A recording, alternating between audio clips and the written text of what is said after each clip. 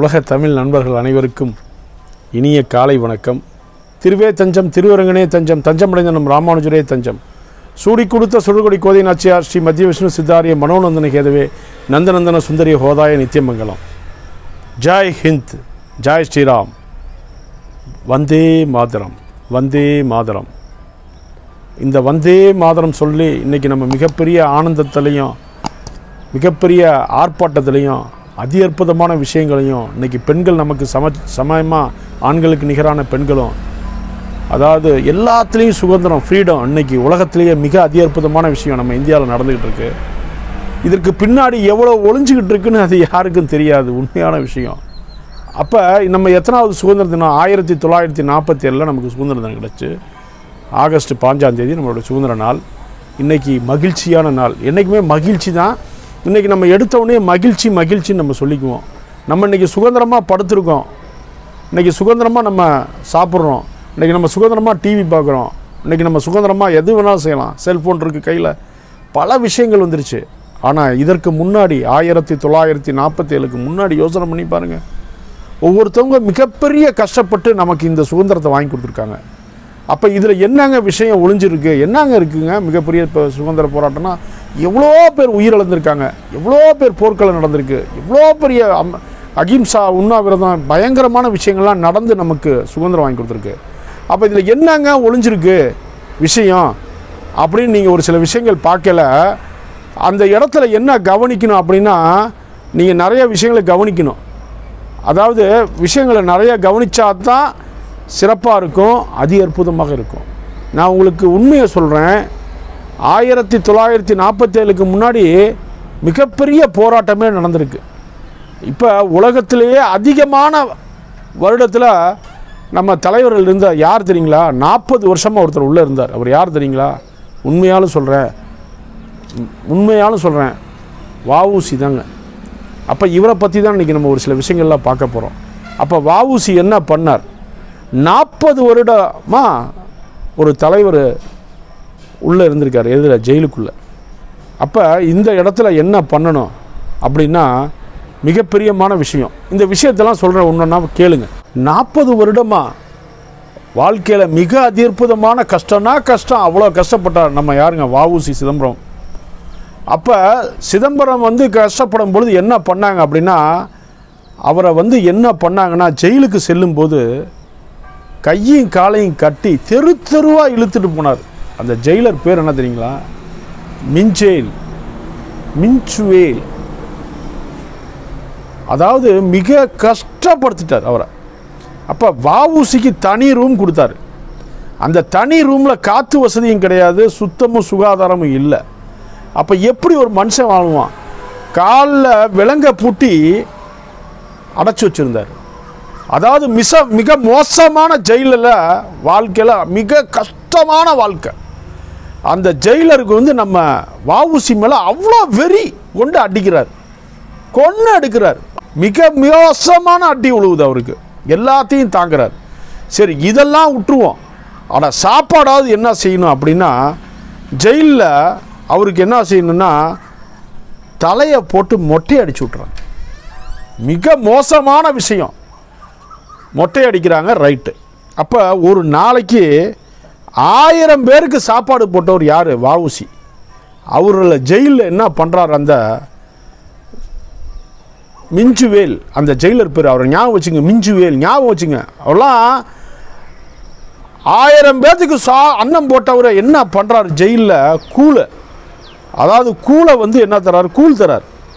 அதுவும் புளிச்சு போன கூழ். வீணாக போன கூழ். அந்த கூழில் புழு கிடைக்குமா? அந்த கூழில் புழு இருக்குமா? அந்த கூழை கூடயும் குடிக்க முடியாமல் உடல்நிலை மோசமாக இருந்து ஒரு நாள் மட்டும் மிக அதி அற்புதமாக ரொம்ப கஷ்டப்பட்டிருக்கு. புழு கூழில் வந்து புழு கிடக்கும். புளிச்சு போனக்குள்ளே யார் குடிக்கிறது? அப்போ எவ்வளோ கஷ்டப்பட்டு நமக்கு சுதந்திரம் வாங்கி கொடுத்துருக்காங்க. அதனால் இந்த மாதிரி நேரத்தில் அவர் ஒரு நாள் மோசமாக ஆயிட்டார்.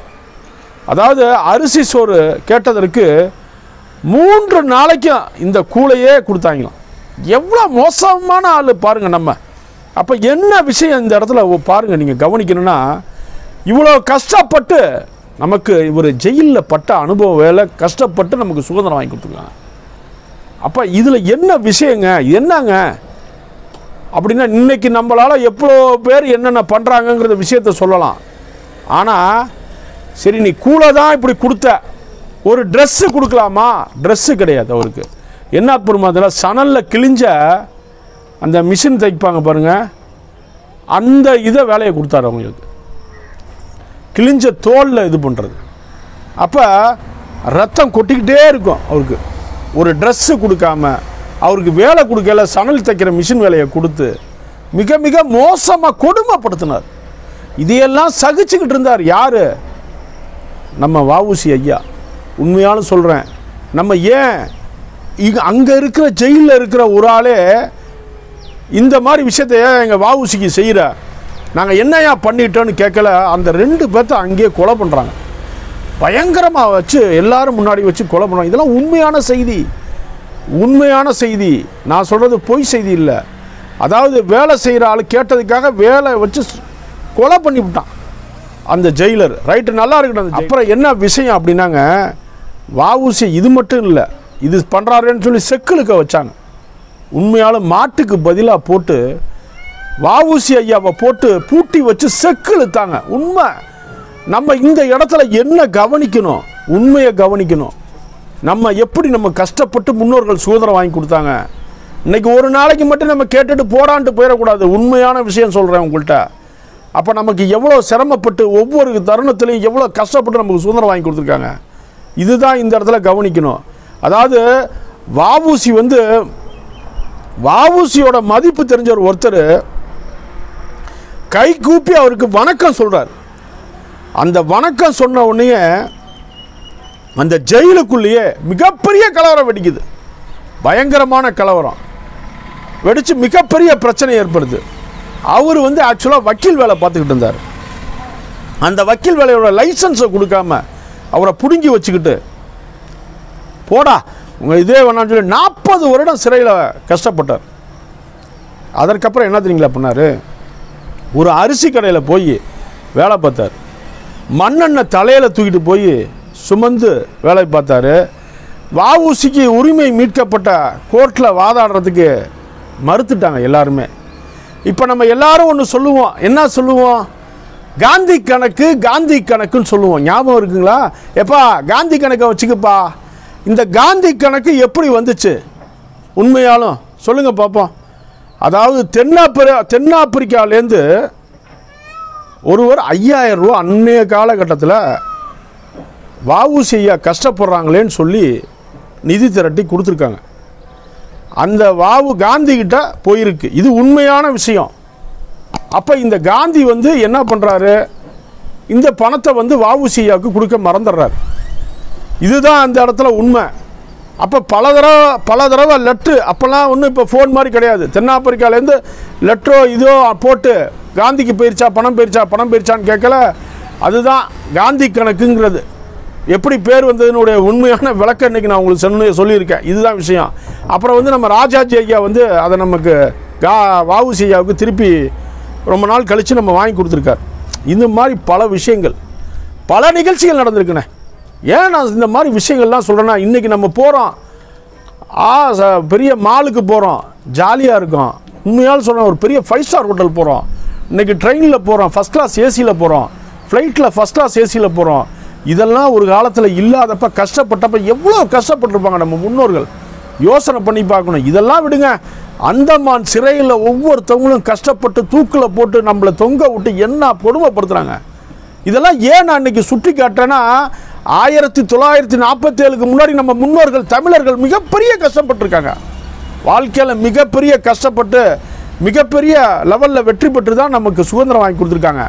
அப்போ ஏன் நான் இந்த விஷயங்கள்லாம் உங்கள்கிட்ட சொல்கிறேன்னா இன்றைய காலகட்டத்தில் நம்ம மிக சுதந்திரமாக இருக்கோம். நம்ம சுதந்திரத்தை நம்ம சுதந்திரமாக பயன்படுத்தணுங்கிறது தான் இன்னையோட கருத்து. அப்போ நம்ம என்ன பண்ணணும்? நம்ம அரசாங்கத்தை எப்பொழுதுமே சொல்கிறேன் நம்ம ஒரு சில விஷயங்கள்லாம் ஏமாற்றாமல் இருக்கிறது தான் நம்மளுடைய இன்றைய சுதந்திரம். உண்மையான சொல்கிறேன் இந்த சுதந்திரத்துலேருந்து நீங்கள் ஒரு அவசியமான முடிவு எடுத்துக்குங்க. என்ன முடிவுங்க? என்னங்க எடுக்கணும்? அதாவது நான் தவறாக யாரையுமே சொல்லலை. நீங்கள் ரேஷன் கார்டில் முதல்ல பொருள் வாங்கினா நீங்கள் மட்டும் வாங்குறதா இருந்தால் அந்த பொருள் வாங்கணும். இல்லை நீங்கள் அந்த பொருள் வாங்கலை அப்படின்னா எனக்கு ரேஷன் கார்டில் பொருள் வேணான்னு சொல்லி எழுதி கொடுத்துடணும். இப்போ இதில் அதுதான் உண்மையான விஷயம். அப்போ இதுதான் அந்த இடத்துல உண்மை. நம்ம சுதந்திரத்தில்.